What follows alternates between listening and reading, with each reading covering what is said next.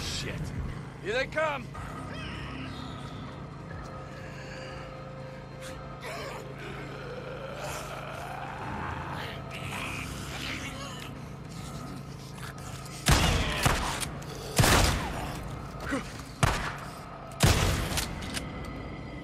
Come on. Get on. Yeah, okay, give me a sec.